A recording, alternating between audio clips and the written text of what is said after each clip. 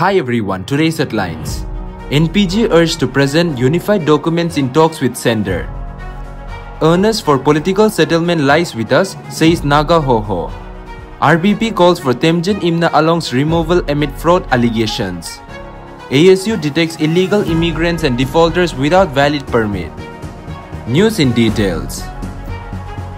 NPG urged to present unified documents in talks with Centre. A consultative meeting convened by the Nagaland government brought together a broad spectrum of stakeholders to deliberate the ongoing Indo-Naga political issue on Thursday.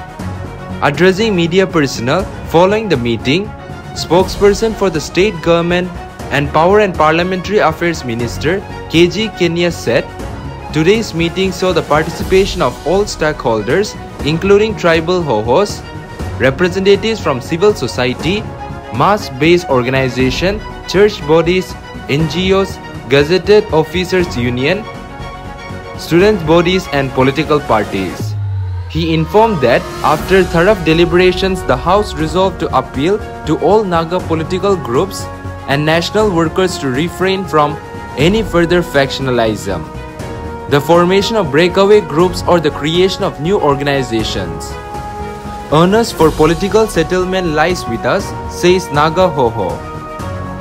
The Naga Hoho on Thursday expressed optimism that the consultative meeting to deliberate on the Naga political issue convened by the government of Nagaland will, part, will facilitate to bring the Indo-Naga political talks to the forefront again after being relegated to the back burner for quite some time.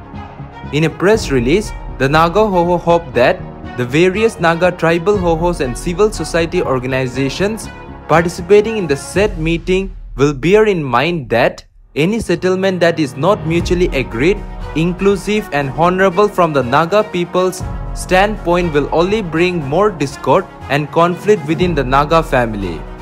RPP calls for Temjen Imna Along's removal amid fraud allegations. The Rising People's Party has called for the removal of Minister for Higher Education, Temjen Imna Along, from the Council of Ministers following a serious fraud case involving 125 crore that has been recently made national headlines.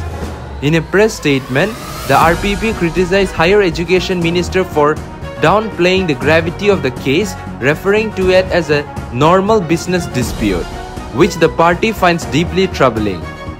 Temjen Imna Along fraud case involving rupees 125 crore has made national headlines but its utterance has trivialized cheating and fraud which is condemnable. The stupendous silence of state BJP in their refusal to bring their colleague to task shows their double standard as well.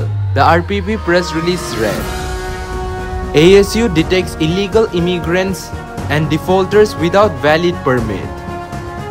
The Angami Students Union on Thursday announced it detected at least 8 illegal immigrants and hundreds with no valid permit during a vigil checking on September 11.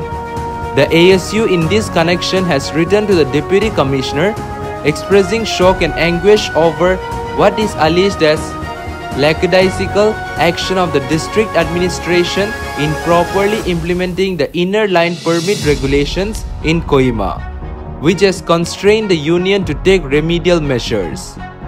That's all for now. To get such news, don't forget to subscribe this channel. Thank you.